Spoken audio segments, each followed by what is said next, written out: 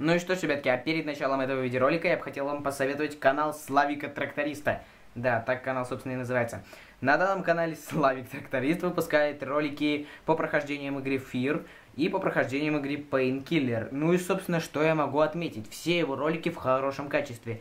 Звук ну, хороший звук, по сравнению с моим он даже неплохой, потому что мой звук говно. Я это знаю. Как я набрал такое количество подписчиков, я без понятия. Поэтому обязательно подпишитесь на этого чувака и давайте сделаем ему небольшой сюрпризик. Давайте сейчас все, кто смотрит этот видеоролик, зайдут и подпишутся на него. И наберем ему 60 подписчиков. Я думаю, мы это сможем сделать. Это будет такой рейд на канал. Подписывайтесь и оставайтесь на его роликах. А мы переходим к ролику. Роликах, ролику. Погнали. Ну что ж, ребятки, всем привет, дорогие друзья, с вами снова Эден, это у нас новый топ-5 игр для слабых ПК. Вот видите, ребятки, все работает, все, все, все работает на вас. Если вы ставите много лайков, выходит быстро новый топ. Для моего канала через два дня выйти новому топу это относительно быстро. Поэтому, если под этим видеороликом также за два дня соберется 150 лайков, то я непременно выпущу новый топ уже через два дня. Ну что ж, ребятки, многие правильно угадали, многие правильно нашли всех персонажей, но многие ошиблись. Но я эту ошибку не засчитаю. Многие писали Бэтмен, когда это не Бэтмен, а Рыцарь Архема. Но я посчитал на то, что не все играли в последнюю часть Бэтмена, и не все знают. Поэтому, ребятки, я добавлю все комментарии, где написано Бэтмен тоже, потому что, ну, вы, может быть, просто не знали.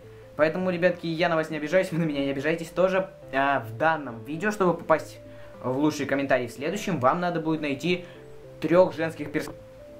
Одна из них, ребятки, актриса, а две остальные это персонажи из игр. Вот, поэтому я думаю, это будет для вас очень легко, потому что одна из этих, вернее, эта актриса очень популярная, а персонажи из игр тоже популярные. Поэтому, я думаю, вы на изи найдете и уже все попадут в топовые комментарии. Ну что ж, не буду вас больше задерживать, погнали к ролику. Ну и что ж, ребятки, а на пятом месте у нас игра под названием Dark. Данная игра вышла в 2013 году, и эта игра представляет собой стелс-экшен с элементами RPG. Вы будете играть за роль охотника-вампира, вы будете нападать на своих врагов из тени и убивая их, все, короче, тихо, да вот с этими вампирскими всякими укусами, кровью. Короче, это прикольно. Собственно, запутанный сюжет этой игры приведет вас в самое сердце мира крови и тьмы, в котором охотник сам сможет стать жертвой. Побеждайте других вампиров, развивайте своего героя и изучайте уникальные умения. Я люблю игры, в которых есть элементы RPG. Это просто офигительно. Я поэтому люблю и Dying Light, и всякие такие игры, типа вообще полностью RPG. Потому что можно развивать персонажа. Это ж просто офигенно. Поэтому обязательно скачивайте данную игру и играйте. И многие говорят в комментариях и в ВК мне пишут, типа, а почему игры не до, не, до, не до такой степени для слабых ПК? Ребят, потому что, ну, может, хватит игр прям для ведер. Но я, конечно, могу сделать еще один топ прям игр, прям вот таких вот прям отвратительных. Но вот эта игра пойдет на слабом ПК, но не на полене. Поэтому обязательно скачивайте, если у вас не полено. А если полено, то, то я не знаю, что. В, этой, в этом топе есть игра, которая пойдет на полено. Ждите. Я предупрежу. Ну и что ж, ребятки, вот эта игра для полена. Данная игра называется Чукчи или Чак Чаки. Это, наверное, Чаки, да. Э, я, как понял, вы будете играть за курицу. И в данной игре вам предстоит уворачиваться от циркулярных пил, шипов и других смертельных ловушек, чтобы спасти своих братьев-куриц. Да. Восстать против злого доктора Барингон... Я думаю, сюжет завинчивается возле такой истории, да? Одна из куриц, это я придумал сам, не судите строго. Одна из куриц, собственно, попала на гриль, и ее хотели приготовить. И приготовить ее хотел именно вот этот доктор Барингтон. Барингтон, да. И, собственно, она чудесным способом убежала, достала где-то пулемет и, короче, начала мстить. А, и накачала еще бицепсы. Я вам просто рассказываю вкратце сюжет. Не такой. Так вот, и, короче, она собрала армию куриц, и они сейчас будут бить этого доктора. Да. Но на самом деле сюжет не такой. Но игра интересная и прикольная, поэтому я всем советую мне поиграть. Э, я не знаю, в каком году она вышла, но всем советую. Ну и что ж, ребятки, а на третьем месте у нас Need for Speed Underground 2. Данная игра вышла в 2004 году от компании Electronic Arts. Собственно, в данной игре есть риск, скорость и все остальное. Но это, собственно, офигительная гонка, которая пойдет на ультра слабый ПК. Я отвечаю, вот на моем ПК она идет в максимальных настройках с хорошим FPS.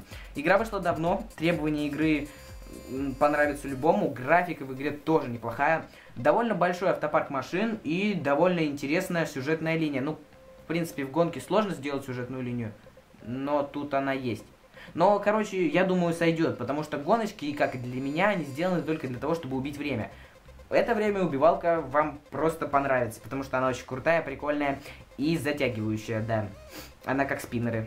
Вот я купил уже третий день, кручу без остановки. Между прочим, сейчас тоже сижу, кручу. Поэтому обязательно скачивайте эту игру. Это лучше, чем спиннеры. Погнали ко второму месту. Простите, что помешал! Блядь!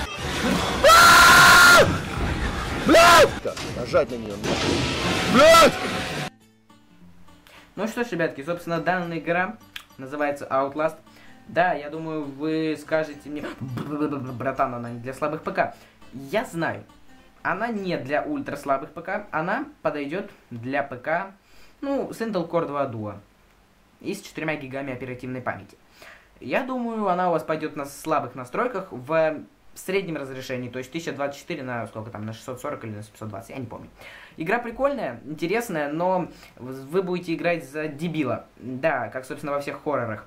Это дебил уровня кто-то где-то постучал, он пошел проверять. Не чтобы убежать. И то есть тактика данной игры, вы приезжаете на машине, вы, как я понял, режиссер, репортер, короче, кто-то с камерой, вы эту камеру любите больше самого себя, и вот, собственно, вы заходите таки в лечебницу, и там, короче, с первых секунд понятно, что там что-то не так, но вам пофиг. Вы такие идете дальше и такие, мне вообще пофиг. Главное заснять сюжет. Это как я ролики снимаю. Вот. И, короче, когда вы встречаете первого вот этого дебила, он все равно продолжает гулять по этой лечебнице, при том, что все окна в данной лечебнице не закрыты решетками. И по логике он мог их выбить. Ну ладно, не будем уже о моих наболевших про Outlast. Игра прикольная, интересная, страшная очень страш... очень страшная. Я знаю, что говорю. Я проходил данную игру в 3 часа ночи в полной темноте с громкостью на 100. Она страшная. Я всем советую в нее поиграть. Я что-то задержался с Outlast. Переходим к первому месту.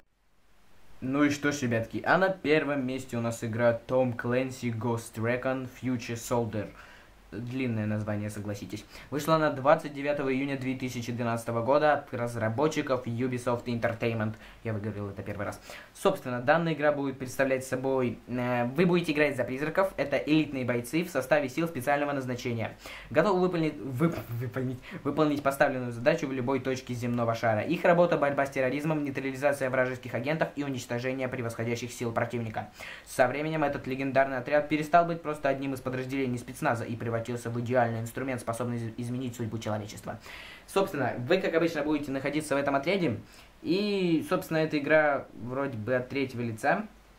Блин, вот я сейчас ляпнул, а мне потом в комментариях убьют. Третьего? Да, на третьего лица. А, это игра от третьего лица.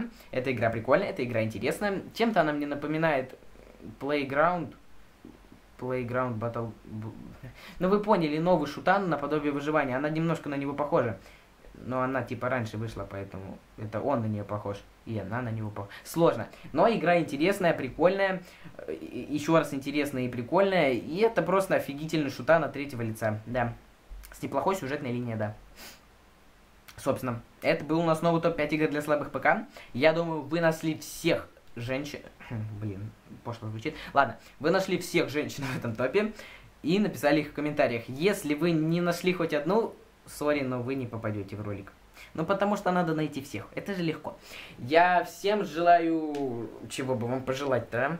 А вы печенюхи брали? Пишите в комментариях как раз. Вы смотрите мои ролики и что-нибудь кушаете? Вот давайте так. Если вы смотрите мои ролики и что-то кушаете, напишите в комментариях хэштег печенька. Вот напишите. Вы можете писать там свой коммент и написать в конце хэштег печенька. Потому что я отвечаю по-любому, что-то кушаете.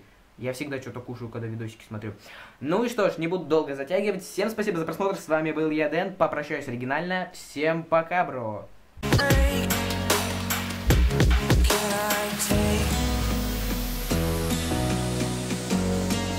Can I be your superhero?